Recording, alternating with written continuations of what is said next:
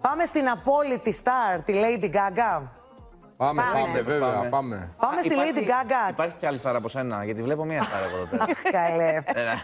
Ε, Θα σε κεράσω ποτάκι μετά.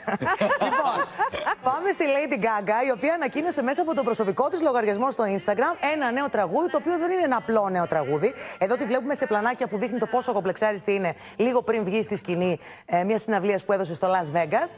Ένα τραγούδι που λέγεται Hold My Hand και θα είναι το τραγούδι που θα πλαισιώσει την ταινία Top Gun The Sequel Maverick. Έτσι. Ανυπομονούμε. Είναι η Ανυπομονούμε. διάδοχη κατάσταση του Ανυπομονούμε. Take My Breath Away. Ε, ναι. Ακριβώς Ε, αυτό. είναι ψηλά ο πύχης, ακόμη Πολύ. και για τη Lady Gaga νομίζω. Όμως ναι. λέει η ίδια της η Lady Gaga και στη λεζάντα ε, του post που έχει κάνει για να ανακοινώσει ότι έρχεται το τραγούδι. Το τραγούδι θα το ακούσουμε στις 3 Μαου, ενώ να πούμε ότι η ταινία θα προβληθεί στις κινηματογραφικές αίθουσες στις 27 του Μάη.